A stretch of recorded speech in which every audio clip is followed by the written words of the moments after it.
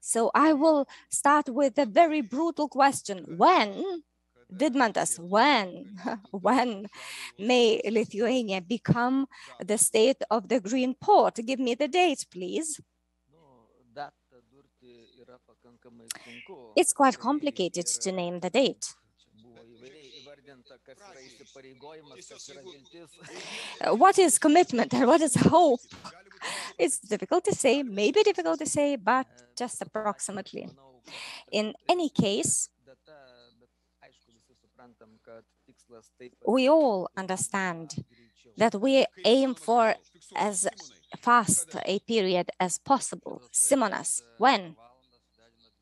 This uh, ship burns two tons of uh, uh, fuel in an hour.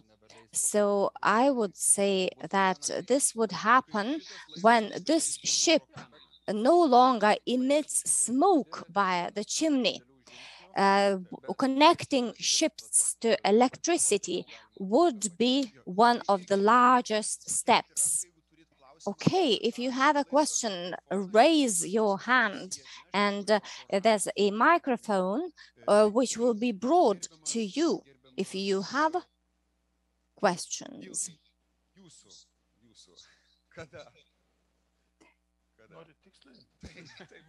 what would you say, say Vytautai? To 2029, the 15th of December, 4 p.m. Have you marked it? Have you noted? Okay. Uh, the, the Vice Minister Vidmantas.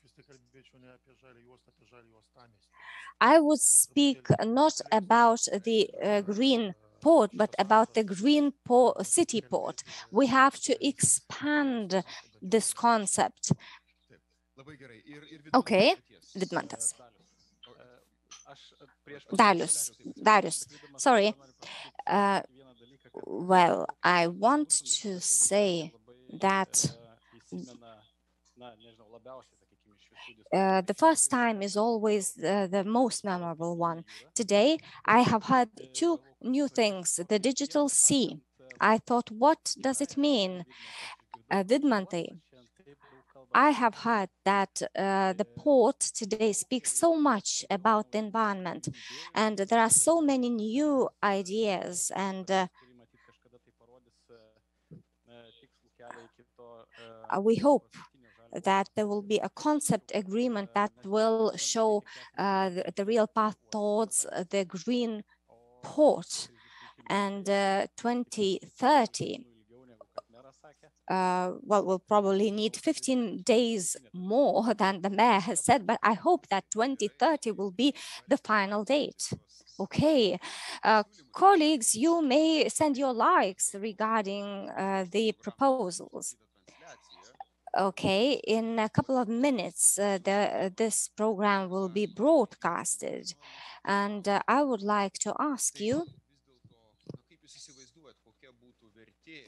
what would the value be of the green port uh, for uh, for instance, a daughter who probably had thought that she is not going to have children because we are going to leave the polluted port for her children. So what is the vision? Why should we aspire? What should we aspire for? well, we have to have the vision in our minds. And I am coming back to the to the green philosophy, the green idea. And this is not an alternative. There are no alternatives. Maybe we may have alternatives in time. How long will it last? And uh, as our colleague has said, uh, knowing that uh, the Christmas movement starts approximately on the 15th of December, this is why I'm saying, uh, giving you the date. On the other hand, uh, this was not in vain that I emphasized the idea of the green uh, city port. Mm, we should we may aspire for everything green, but if the surroundings will not be green, we will not ensure sustainable uh, green development. So what is the green city port? It has to be in the green country, in the green state. And uh, we uh, uh, by the time we eliminate any loading activities that pollute the city, we will not have the green ports. That's why this uh, solution has to be composite. Colleagues, help me understand if 2029 is the date when Klaipeda port becomes the green support. Uh, Kennedy's, who promised uh, the flight to the moon, uh, had the challenges that there were no uh, powerful engines, uh, no solutions to maintain life uh, in space, and no possibilities to navigate. What are the largest um, challenges that we have to overcome?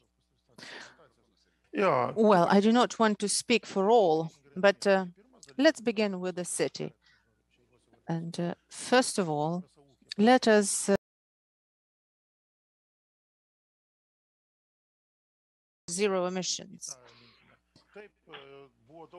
Yes, uh, there were a lot of uh, possible solutions in terms of uh, reducing the sulfur contents about the different types of fuel, but uh, uh, okay, uh, the city is green, the port is green, but what transport will be used to, to transport the cargo in and out of the city, green or not green? Okay, you mentioned the example of Bega and the railways and the locomotives. This is just a chain which must not have any black links. So in terms of the city, public uh, transport and an integrated logistical uh, chain and uh, circular economy aspects. A question from the audience. The moderator scared us that we only have eight minutes, but we have more than 20 minutes. Okay. So a question from Remigius Lapinskas. Hello, I uh, represent the Green um, Policy Institute. And uh, my question is about uh, since all the Klaipeda representatives responsible for the Green City and the port are here, my question is the following. One of the things I understood from the discussion of these topics that uh, the general plan and the master plan of the city are uh, compiled separately without any coordination between them. So my question is to the minister and the mayor. Has the situation been solved already? Will these two plans will will be coordinated and will we have a real true green port or will we have separately a port uh, that is trying to become green and the city that is trying to become green? Well, uh, to correct, both of the plans are almost approved. The port has a, uh, the plan uh, that's been approved and the city plan will be approved at the latest in September. So these two plans uh, have become a reality already. The previous process was about a lengthy discussion and it would take more than 20 hours uh, to tell you about uh, the processes. Uh, we shouldn't look back. We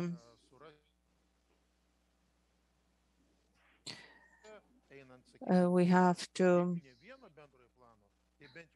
uh, aim at uh, the synchronization of these two general plans uh, while being flexible, of course. As you know, the uh, freshwater uh, port vision, uh, the deep water port vision is now moved to the side, to aside a little bit. Um, and I would like to thank the management of the port uh, for their uh, responsible uh, treatment of the city's expectations, although they could have just uh, said, uh, well, uh,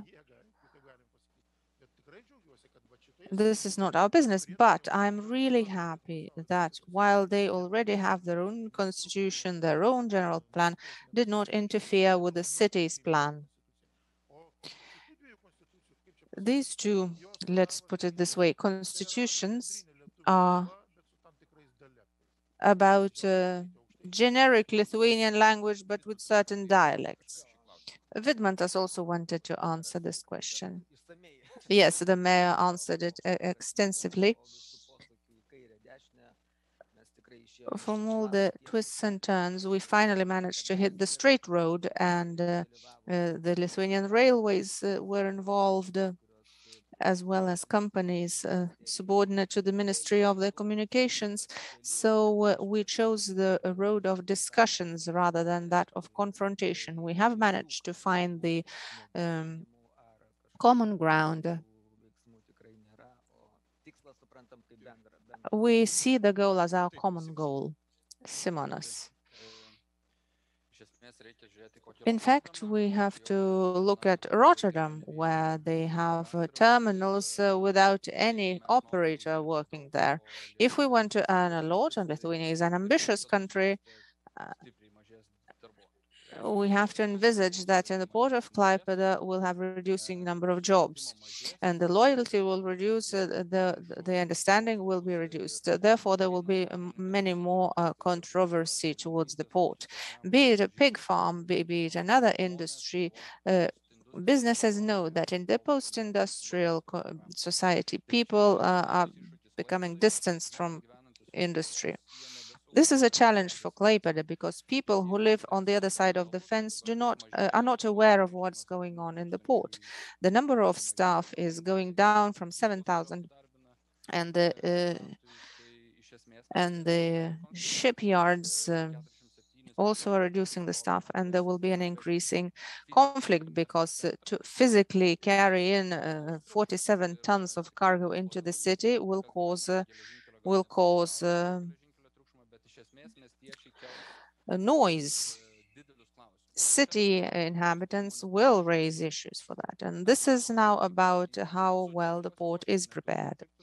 We see that some companies manage it well and avoid conflicts, conflicts with the people. But there is one company at the northern part of the uh, of the city uh, that is not managing this very well. So be it, uh, how, however, are the expectations of the country or city or the port, sometimes it boils down to one specific shareholder who, uh, because of his uh, uh, short-sightedness, sightedness uh, programs big conflicts. And my wish is that the city and the port uh, delineate this buffer zone, because uh, I believe that uh, it would be possible to avoid um, designing uh, residential areas around the port it's uh, similar in Vilnius, where around the airport, uh, people want to build residential houses, pre-programming discomfort.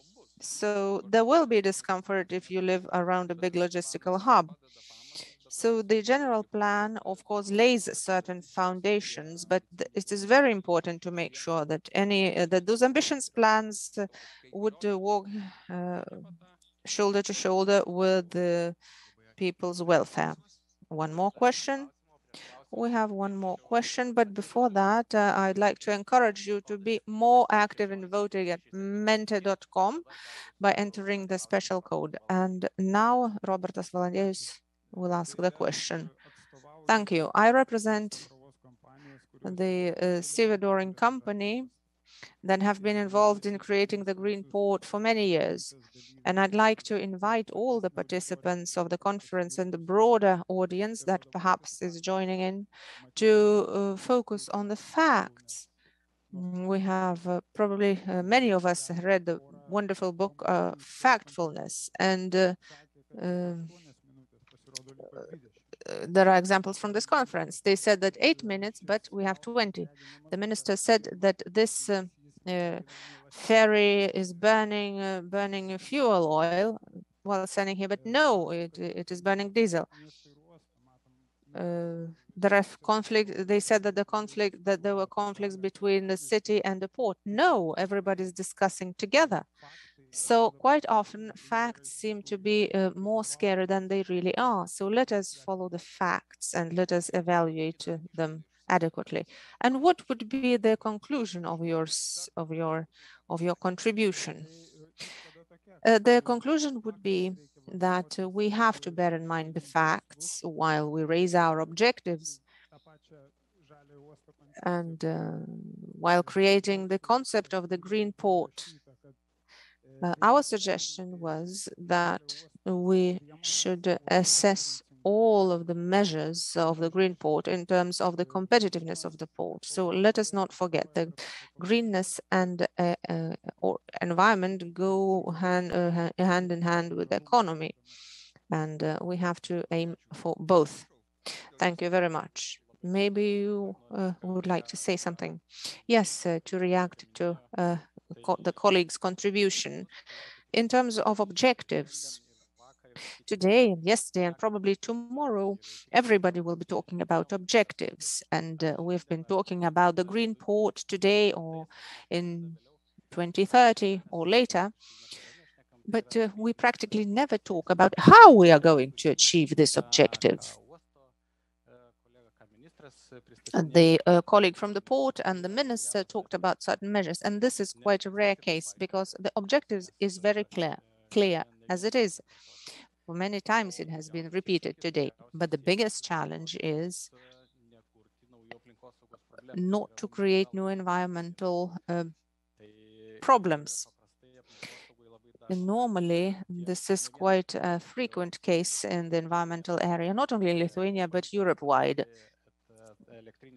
let us look at the electric transport. Before, uh, it was a big objective to, to, to have an electromobile, but nobody was thinking about how they're going to mm, mm, deal, uh, handle the batteries of, mm, uh, of electromobiles. So while we uh, shape and design the concept of the green port, we must not forget about how to avoid creating new environmental problems or uh, avoid transferring them to the other side of the fence, as Minister said. Please.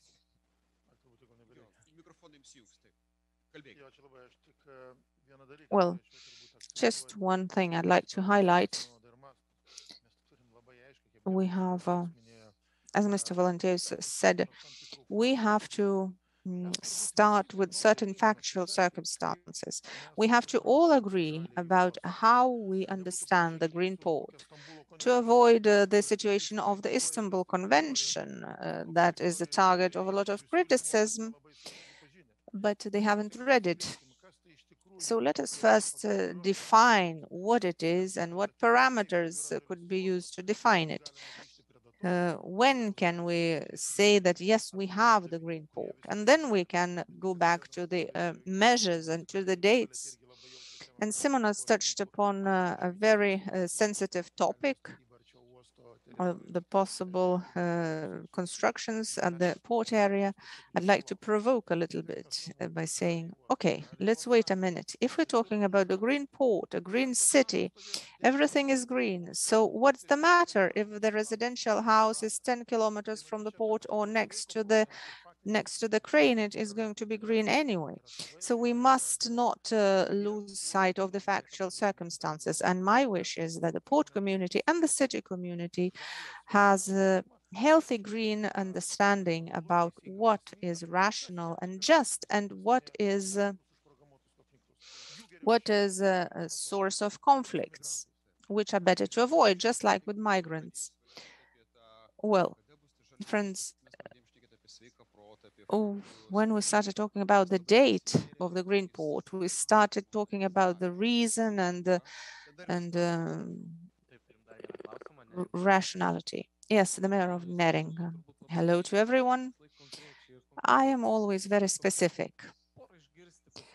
Uh, uh, there were suggestions to become partners uh, in this digitization project, but I did not understand the final result. I understand the IT part. They are going to create software program, um,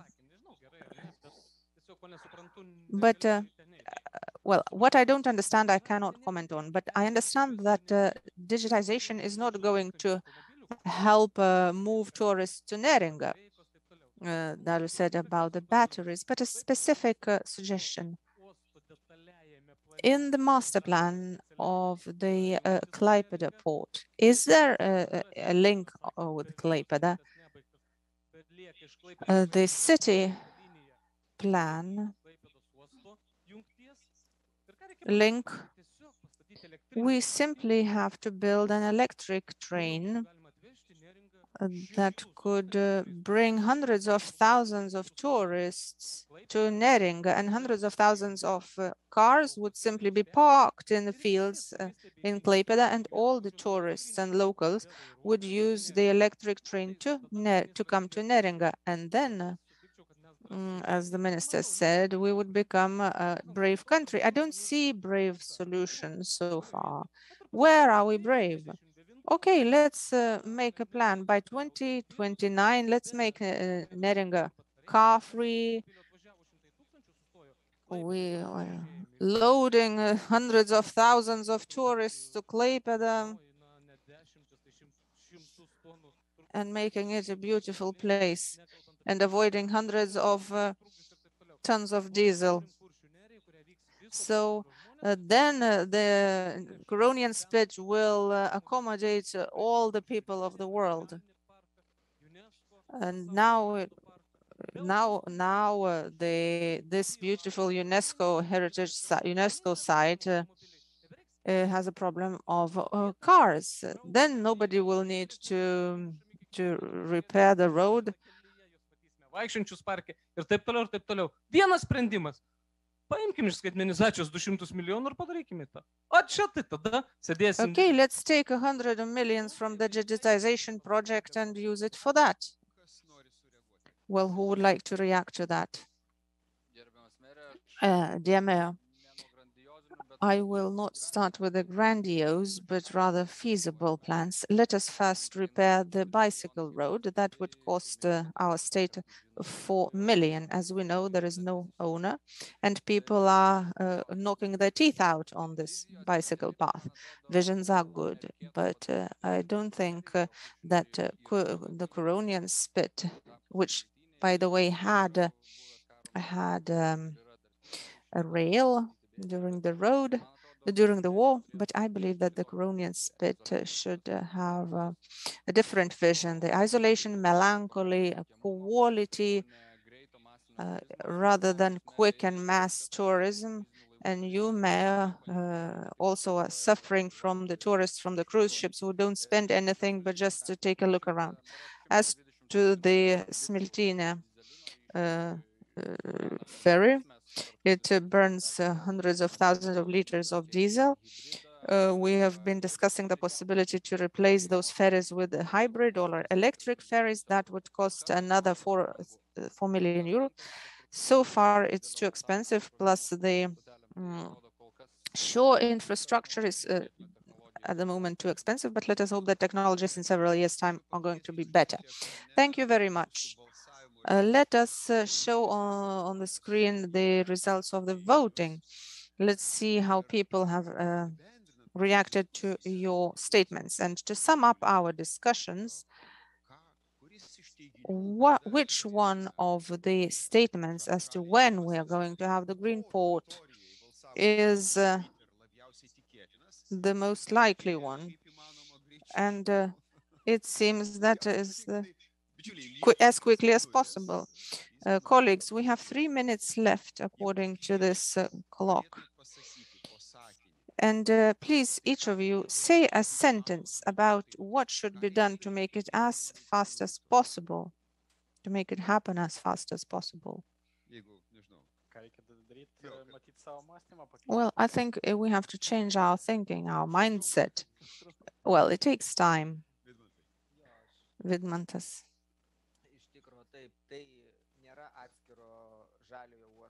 There is no separate green port. There is an entirety.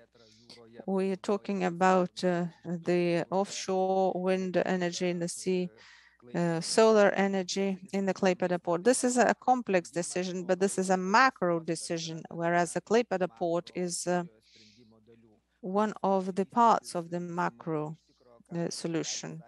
As Dalius said, we have to change our mindset.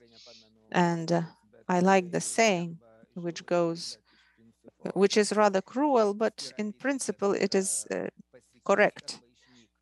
Uh, change or disappear. So you have to change or else you will disappear. We will have more space for discussion during the discussions about the change of the mindset, Simonas. Several specific things. We would become greener if road transport is moved to rail. Uh, Klaipėda port is already a success story, a, an example to Riga and other ports. We have to mm, uh, put the uh, surface waters of the Klaipėda port in order because there are huge volumes of wastewater that all goes into our sea. We have to uh, connect uh, these ships to uh, shore infrastructure, both water and electricity. And uh, by doing so, we would become an example because uh, such a port inside the city, it has to, to be like this. And the last point, uh, that loose cargo has to be handled in a closed, closed way because today it is still being loaded openly, and this is not compatible with the green and responsible port. And uh, in one sentence, uh, well, a lot of things have been said, a lot of suggestions of what to do, but uh, I, I, I would like to say that we also have to decide what not to do. As Simonas said, we have to eliminate the black pollution points that uh, are not compatible with the green philosophy. And uh, on the other hand, as Simonas said, some uh, the majority of cargo has to be moved onto the environmentally friendly transport forms. The same goes for the city. All transport has to become zero emissions and then private transport will also achieve zero emissions and the Klaipeda bicycle roads are quite good. Well, uh, briefly about the mindset. When I came here, I met my colleague Aiste, who is probably the strongest expert in uh, marine environmental issues. And we uh, said that uh, after today, we're all becoming green and full of ideas, but we'll come back to work and everything will be the same We'll be overwhelmed with our daily worries and these uh, good ideas will be pushed aside. So this is our task, namely how in a year's time we could meet again together and see if we've become greener or not there are a lot of conferences where we should look into one another's eyes and uh, start speaking not about changing our mindset, but more specifically about uh, changed uh, mm, thinking. Thank you very much for the discussion participants.